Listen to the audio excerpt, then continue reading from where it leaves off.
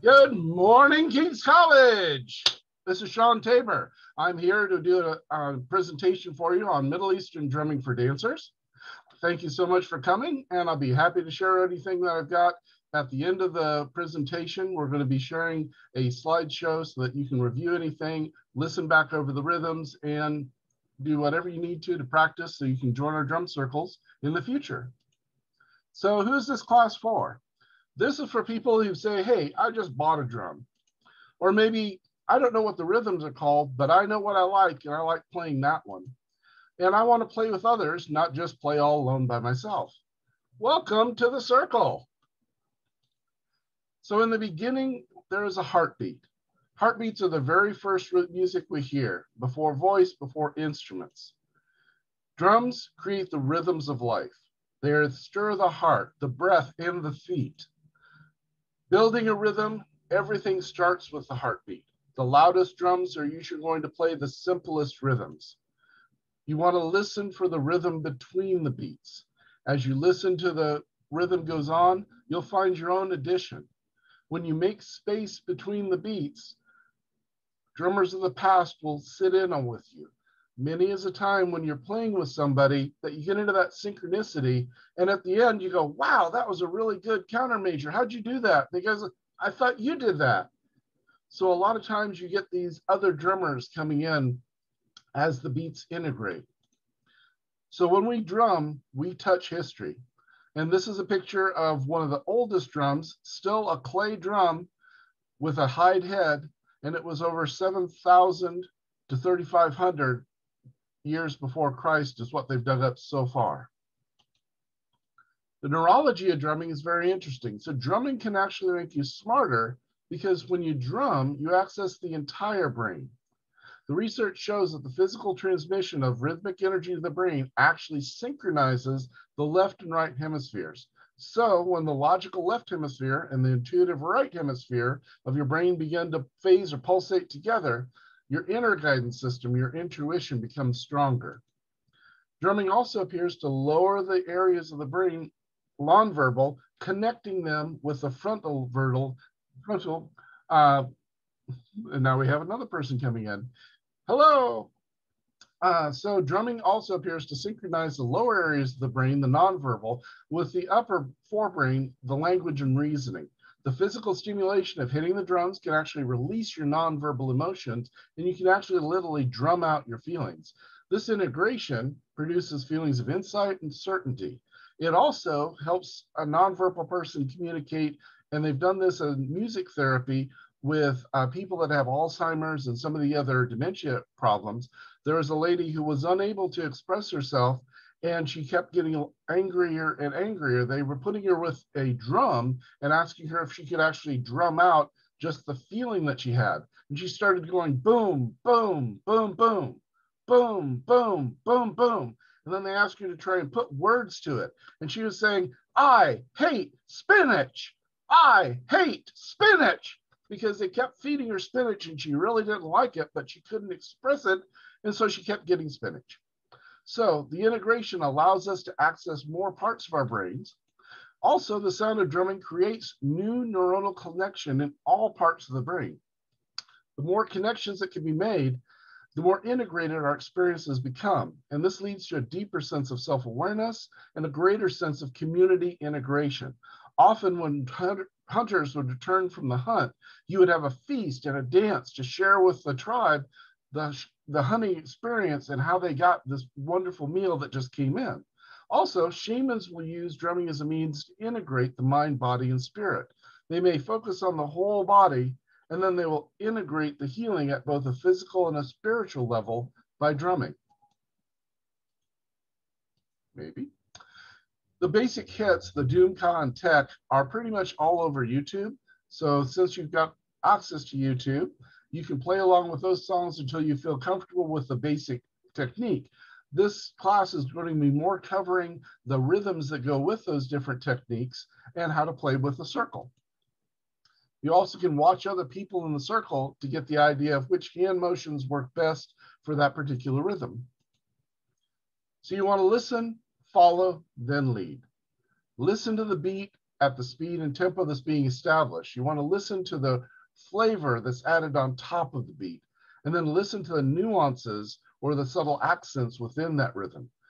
Let it flow through you, then join with it, immerse yourself in it, and surrender to your drumming and dancing, and you will find your contribution. You want to listen not only as the rhythm begins, but all throughout. Listen with your ears, listen with your skin, feel the beat, listen with the eyes, watch what the drummers and dancers are doing, and listen with your heart to feel the energy of the beat. Continually showing off, loudly demonstrating individual drumming skills and stuff is not helpful.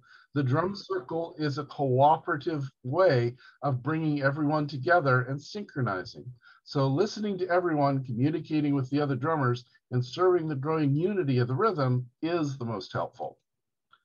So drum circles should be in layers. There are three roles that a drummer can play in a circle. The heartbeat drummer is usually playing the rhythm of the piece very steadily and predictably. He or she is going to find the groove and stay with it. These drummers maintain the foundation of the music. Without them, the entire piece of music collapses. The embellisher plays between the beats. He's going to be adding accents, syncopation, and other polyrhythms to add musical complexity and character to the piece. The lead drummers create kind of a creative and yet logical music on top of it. You can think of this as kind of the lead guitar fills in a rock band. The only sin a novice drummer can make is to be the loudest drummer in the room. You got to be patient. Listen first, find your contribution, then play. Whenever possible, novices should seat themselves next to the heartbeat drummers because they're going to be the ones that help you establish your sense of rhythm and tempo and are less likely to throw you off than the embellishers and the lead drummers and your fellow novices will. Soloing. Don't fill up the space with your notes. You need to leave enough rhythmic space in the circle for other players to express themselves. You want to share the solo space. The solo air can get pretty thin up there. Usually it only uh, accommodates more one or two people. Think kind of like dueling banjos. So you want to pass the rhythm around to the circle to other drummers so they can find their contributions, as well as out to the dancers and back to the drummers. It's a lot of fun to play with the dancers when you can do a rhythm and see it modeled with the dancers. The dancers can do a rhythm and see it modeled with the drummers. The unwritten rules of the circle. First, don't wear rings, watches, jewelry, bracelets, anything like that when handling drums.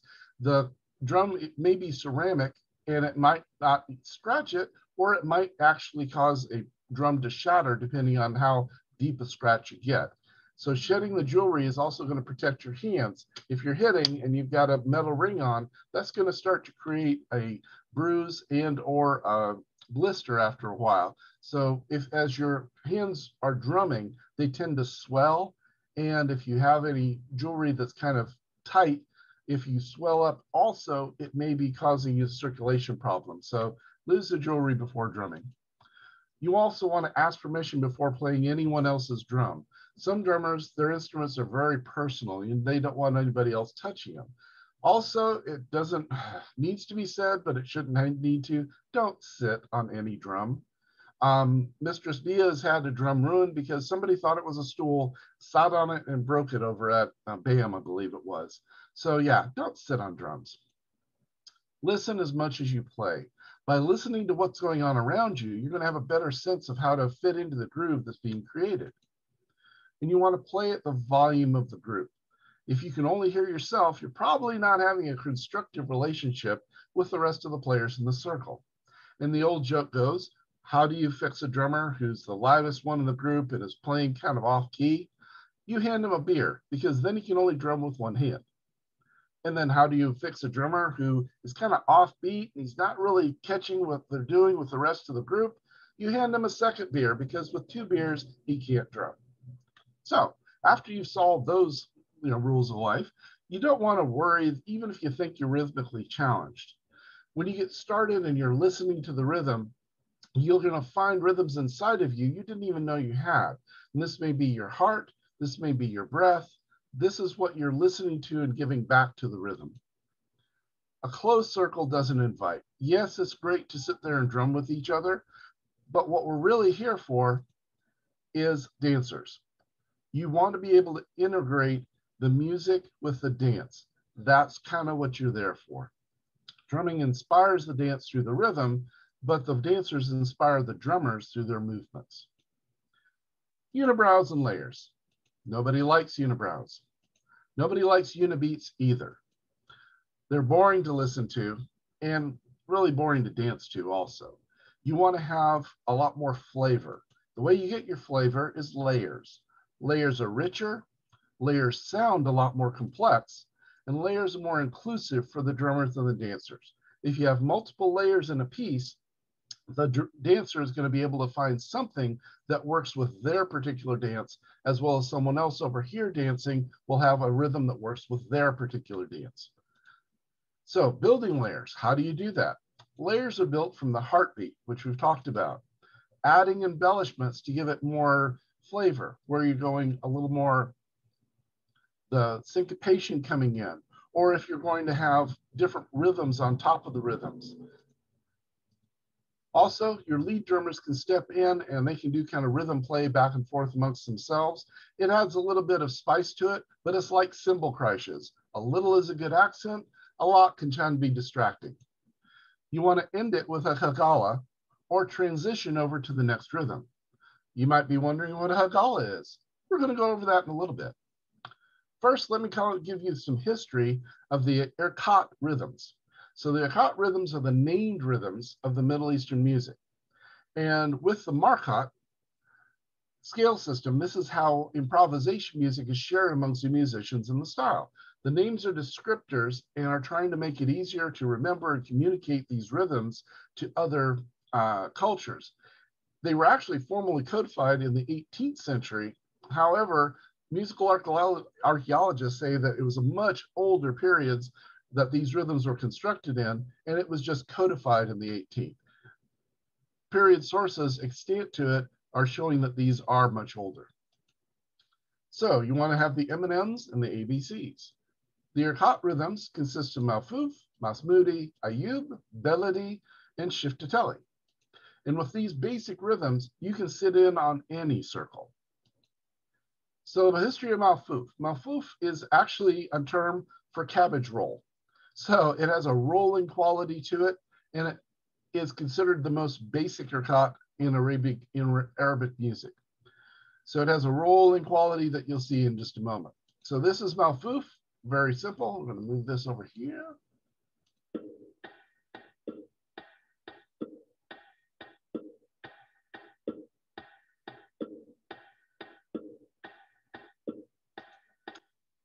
So as you hear, it's just a very simple rolling beat.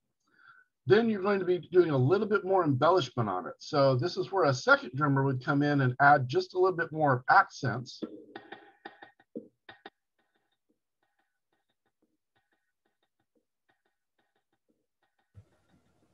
Go ahead and turn the volume up on that just a little bit. It's hard to hear. Got it. Let's try it again. Maybe. Okay. Can you hear that? It falls off after the first few seconds. Okay. The volume, unfortunately, is the highest it gets on that. So if anybody can adjust their speakers for that, does okay. anyone want to have that hear it again? Go ahead and play it one more time. Sure.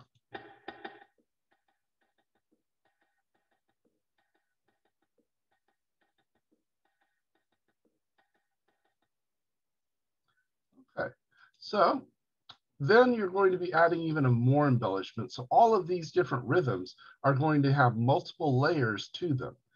When you play them all together, that's where you get your, your rich sound.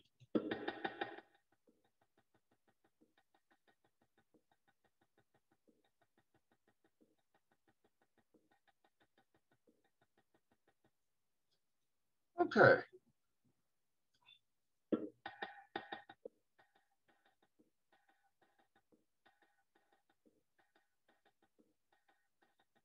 Now what we want to do is actually hear them build on each other so you can hear what it would be like in a drum circle where you have the embellishments and then you add some of the folks coming in on top.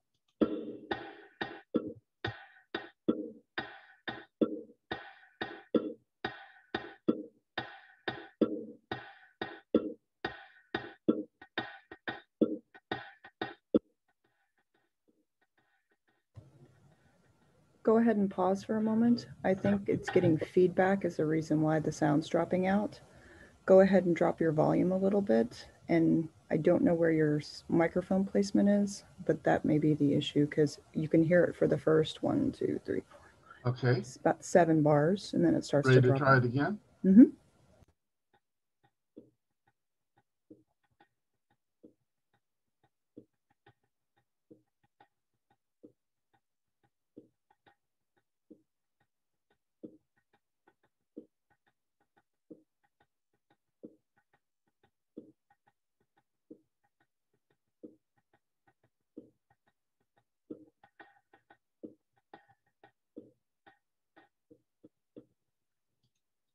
Okay.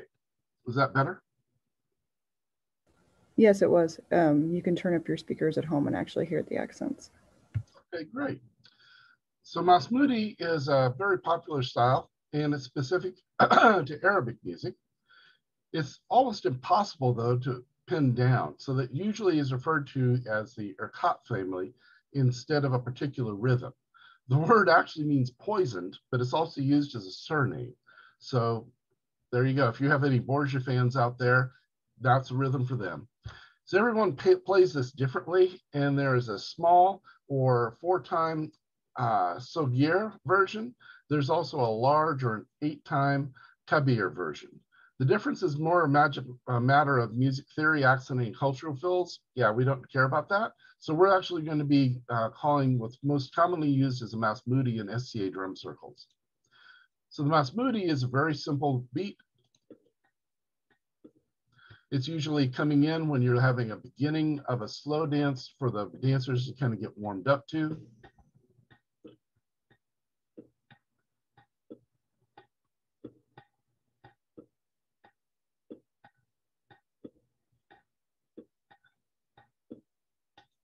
How is that uh, volume wise? I can hear it on my end. Okay, great. Coming in with a little more embellishment on it, though, gives it a lot more flavor.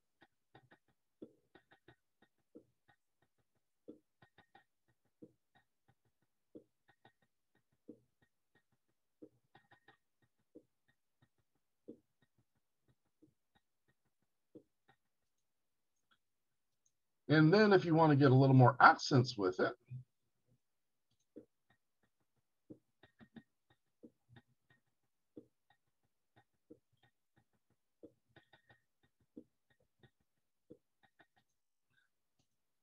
So in the progression, this is kind of what it sounds like if you were going to be in a drum circle.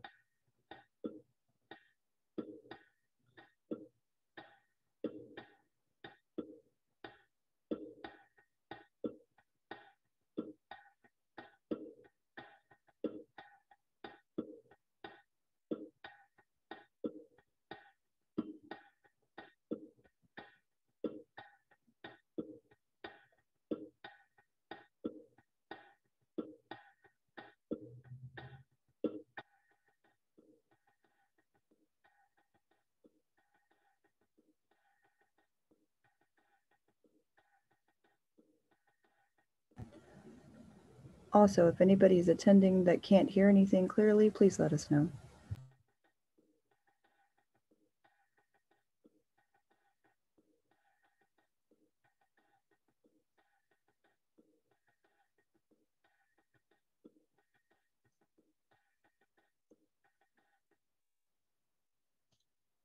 All right, another Irkut rhythm are named after people. Ayub is a first and it's also a surname in Arabic. It's also translated in English as Job. This has nothing to do with the biblical figure or the Quranic figure, uh, prophet, as far as music archaeologists have been able to figure out. However, it's a common trance rhythm and is at times used for religious purposes. It's very popular due to its ability to drive music at any tempo. And Ayub is also what's called a bridge rhythm. Basically, if you're playing Ayub, you can play any other music on top of it or continue to play when the drum circle itself switches from one rhythm to another. And Ayub accents will actually fit with almost every other music.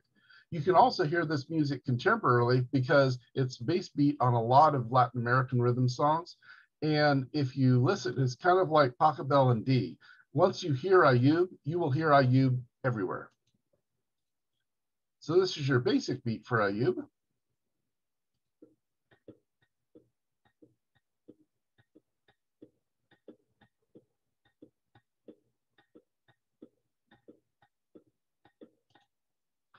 And a little different variation.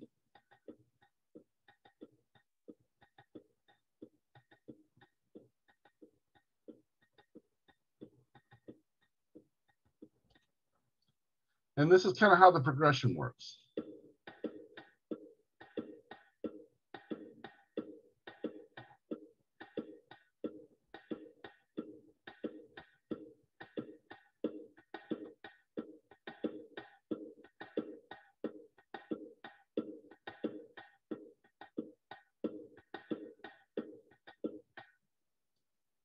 So Beledi is an Arabic term for the countryside or rural areas. This rhythm is associated with uh, Fulani or common people.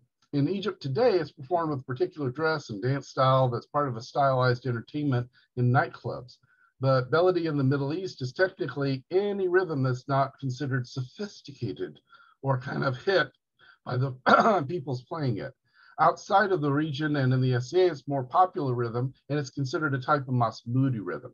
So if somebody tells you that another rhythm is Beledi, know that Beledi is in the eye of the beholder, and you're both probably right. So Beledi sounds like this.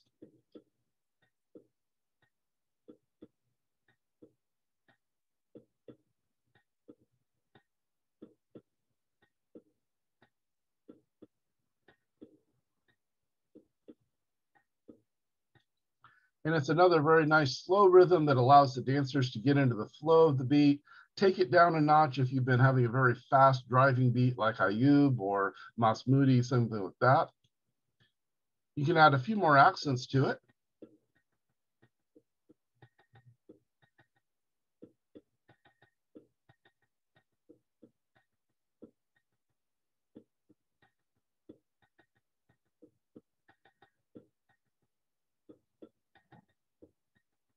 Hi. Hey. Hi, Evan. Sorry I'm late. Hey, I'm glad that you came and we'll have a recording for you. So if you want to catch up on anything you missed before, that's fine. Thanks. Um, All right, so what we're doing is showing progressions of different beats. So this is your Beledi progression from a heartbeat, a very simple version, to a little bit more complex version with a few more accents in it, and kind of how it would sound like in a drum circle.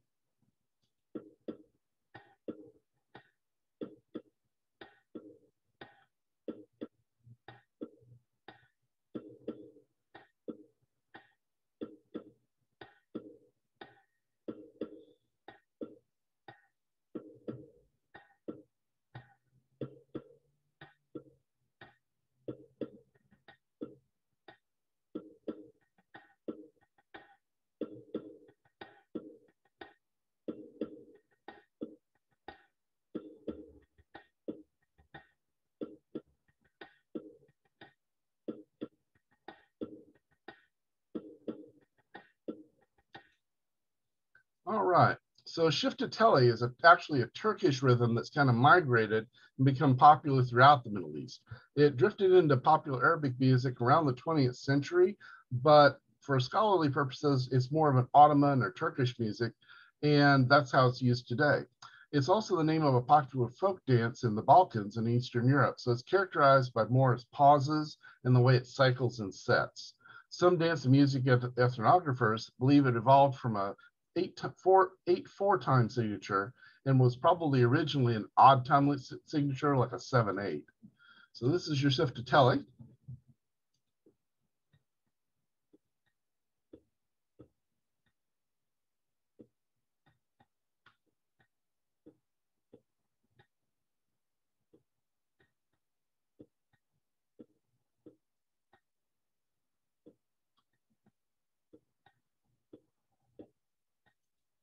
And this is your Shiftateli with a little bit more accents.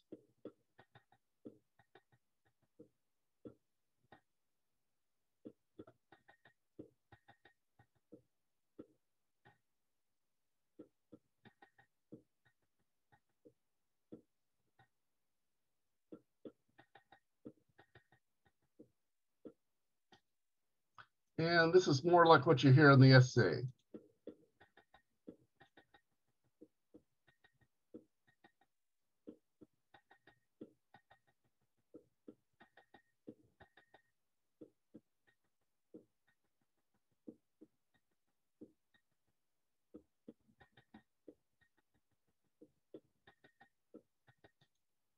Okay, so this is the progression of how it would sound like, beginning with the heartbeat and then adding several layers on top of it until you get a nice complex layer.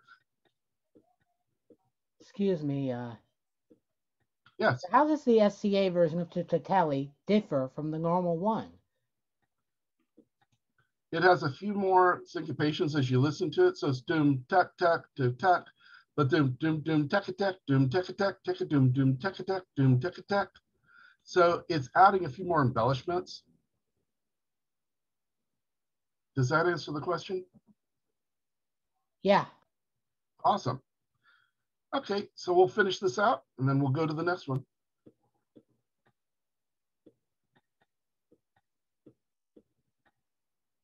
Uh, sorry, that restarted.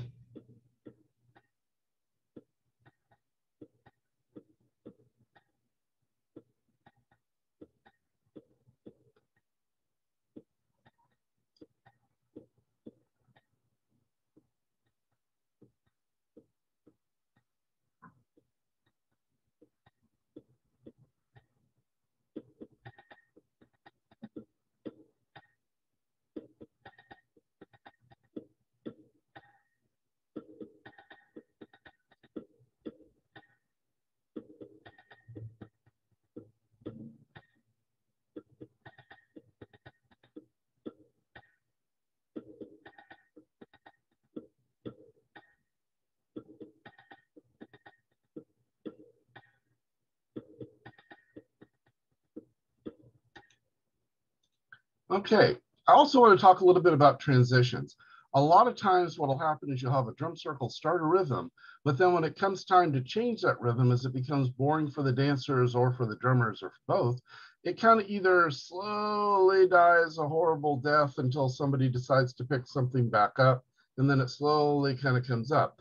I think a little more professional way of doing it is transitioning via hand signs because transitions normally you have a few signals that people will give out, but they're not really communicative as far as where you're trying to go next. And that makes it hard to read the crowd and read the, the dancers and make the music appropriate to them. A lot of times you'll have a voice command like hup, hup. The problem is, is it's kind of hard to hear if you're in a large group and it doesn't communicate a whole lot except maybe you're going to speed it up, slow it down. It's just more of a, hey, attention over here and then you're supposed to in telepathically intuit what the guy's wanting you to do. A foot signal is very common to be used in both folk music and in Middle Eastern, and that's where you just stick your foot up, and that it's kind of hard to see, especially if you've got a bigger drum, and it only says stop. So it doesn't really give you a whole lot of information again. The Hagala rhythm is the one that you've heard, and we'll go through that in just a moment more, uh, which is a stopping beat. So it fits over any other rhythm and it signals the entire drum circle to stop on a specific time. And it's like a doom, tap, tap, doom, tap, tap, doom, tap, tap, doom, doom, doom. Is usually what it is for the stop rhythm.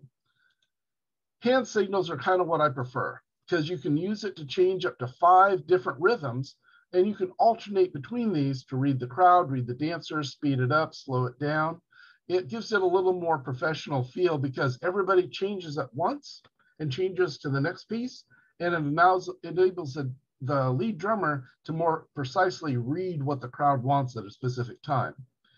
You also want to pace yourself and the dancers. You might start with a fast rhythm, go to moderately fast, then slow it down so the dancers can kind of breathe a little bit and end it with a light, fast, high energy rhythm. And that gets the crowd wanting more for your next piece. You want to adjust the pace to the dancers. This is not about killing the dancers through speed. This is about tasty, um, precise drumming that enables them to show off their different movements. And it's helpful if you're able to both put the movement out there that you see so the dancer can dance to it, but also watch the dancers because their rhythm should be influencing what the drummers play. Hydrate, hydrate, hydrate. Drumming is an aerobic activity. And if you drum for hours, you're going to have swollen hands. You're going to have a very dehydrated body and probably a headache if you don't keep your water intake up. So please, while you're drumming, have something to drink. So what is a Hagala?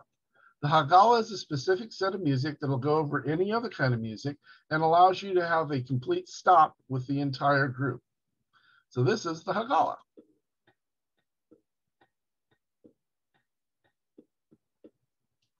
Pretty simple, pretty easy. When it's time for a drum rhythm to end, let it end. One of the most annoying things in a circle are those one or two people who just won't let it end. No, we can get this going. Just keep going. The dancers will come up off the ground. They're just resting. They'll be fine. You want to be able to get everything ending at a time so you can get a new rhythm.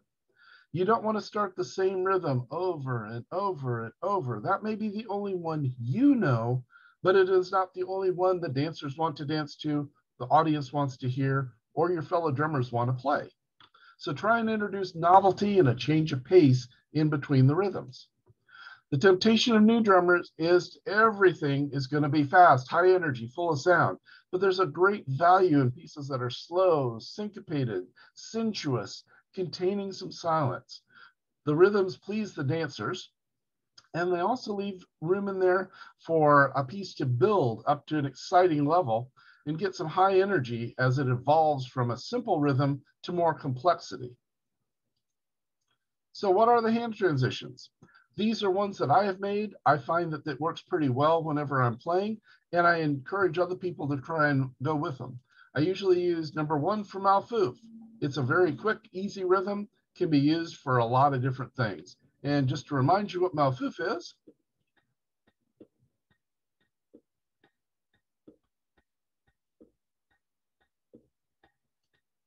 So quick, easy.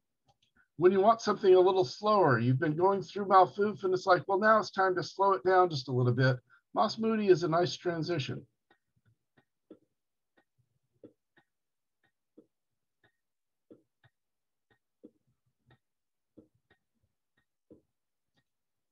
All right. Third one is going to be Ayub, which is the bridge beat that goes over any other music.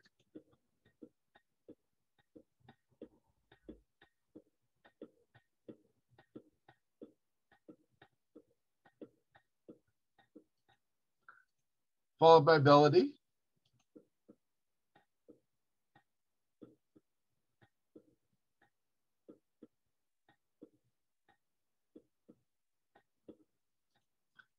And finally, our Shiftateli.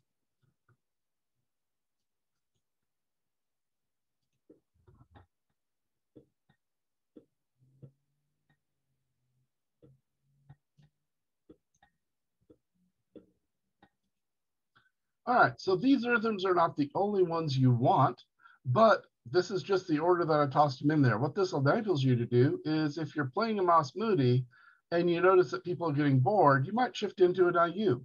Or if you're playing a Beledi and people are getting, you know, you need to slow it down from a Malfouf maybe, try picking up a Beledi. But this just gives you a signal. And as long as everybody agrees what the number of fingers were in, it's easier to work with when you're playing as a group. The stop rhythm is a Hagala, which again is our happy little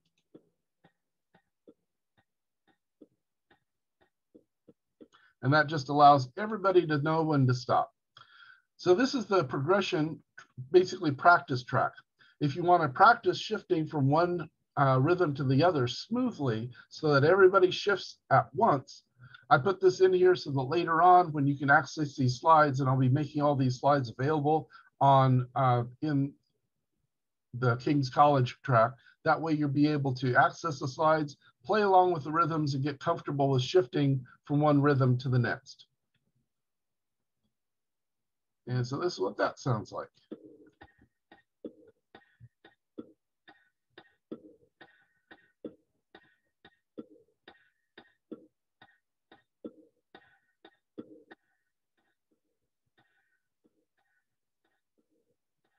I noticed the Masmoudi is an eight is a four four.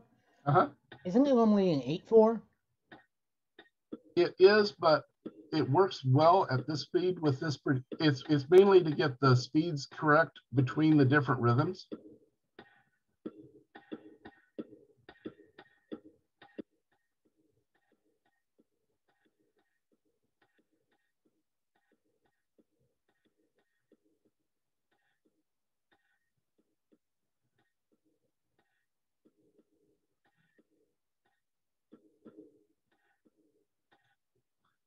So you can use this track to kind of just play along with them all at once, get used to shifting between one and the other. And that way it'll be a little bit less jarring when you're in a group and everybody shifts over immediately. So let's talk a little bit about Hafla anatomy. When you're watching a dancer, you're looking for specific body cues to let you know what to do. The first one is her hands will go up when she wants to be faster. Her hands will go down when she wants to slow down. If you see uh, a dancer going down, going down, going down, she really needs to rest. You don't need to be giving her a fast beat to dance to. You also want to check out the ribs because dancers will typically use the rib isolations to accent pieces. And it's a little bit like if you're wanting to, to draw attention to them, use the higher notes on the drum to try and model the movement from the dancer. The hips are more of your heartbeat or your hip beat. It's slow or it's fast, but it's hard and heavy. And that's usually the deeper tones of the drum that you want to follow. And finally, there's the eyes. You may meet, look up, rise from your drumming to meet the eyes of approval. But if you've been going too fast, you may eat the glare of death. No one likes the glare of death, especially the drummers, because then you don't have anyone to play for. So in conclusion, listen to the heartbeat. Keep it simple with the M&Ms and the ABCs. Follow the flow of the rhythm and you will find your place in it. Be playful and pass on the lead to around the circle and out to the dancers and back into the drummers. Open the circle to invite people in. Don't just sit in the circle by yourselves. Listen in the silence for the rhythms of the past. Any questions? And just to let you know, you have about five minutes left of your class time. All right. I'm sorry I was late. I couldn't get the link to work. It's okay. Technology doesn't always play along. Luckily, um, the instructor is going to be kind enough uh, in the chat to post where the information can be found. So that way you can go through all the slides and actually have a, a better opportunity to, to listen to what he played. Because I know sometimes the volume feedback um, wasn't uh, very kind. Oh, thanks. Oh, I raised my hand. I was gonna ask you something. Uh-huh. I play a Riq. I mainly play a Riq, but I can also belly dance and play the Zills. I was wondering, did you cover any uh, Riq stuff? Can any of this? Well, we, the Riq can be played with those rhythms also. So it's for the Doumbek and the Riq, but they're basic Middle Eastern rhythms that are common to all of the drum circles. Oh, because I was asking how you managed, how this can be pulled off on a Riq, because I saw your music and it was all like it was all bongos stuff. Yeah, the reason I chose the bongo is it was a very distinct tone between low and high. So it gets the rhythm out there, but it's not designed to be a, this is a recording of it being played well. It's a simplistic recording showing you the way the beat is constructed. Oh, so it's not like a recording of a Doumbek uh, doing all this stuff. It felt a little confusing because it wasn't like uh, it felt a little confusing because it wasn't like a proper Doumbek or a Riq sound. Like it felt Yeah, it just sounded uh, there wasn't really a proper sound that we could find that conveyed the simplicity of it because anytime you went into the the like digital Doumbek sounds, uh, it got a little bit because you would have several different Doumbek sounds coming in over the top of each other. It got a little muddy. And that's why we were using the bongos because it was the simplest sound that we could find that denoted the low and high note to show the rhythm. Ah, okay.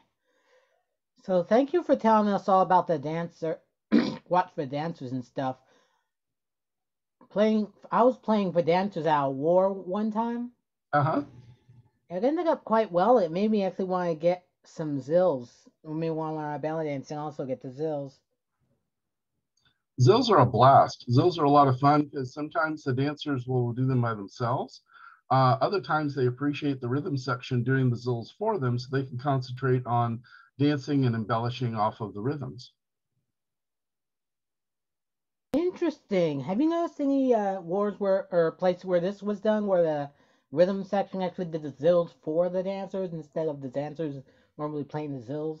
It, has been done at band before. Now it depends on uh, what you want to have done. So, like with the with the dancer, they may have a specific accent because the dancers have accents with the ribs and with the zills and anything else high um, that they may be doing and they like to be in charge of when that's occurring. You know, you don't want to have a cymbal solo throughout the entire piece. It gets a little boring.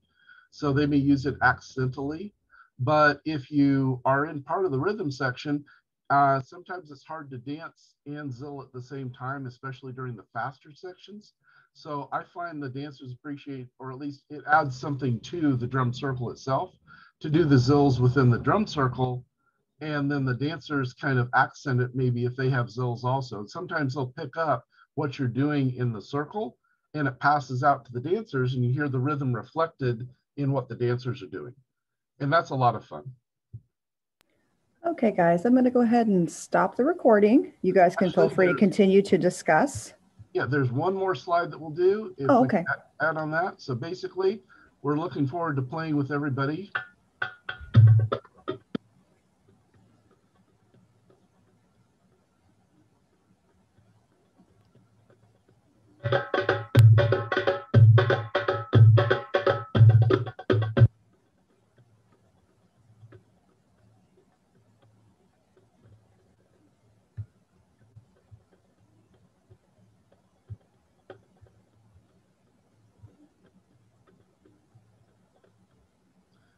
and that's going to be the next lesson. So just let me know when you're ready for that one.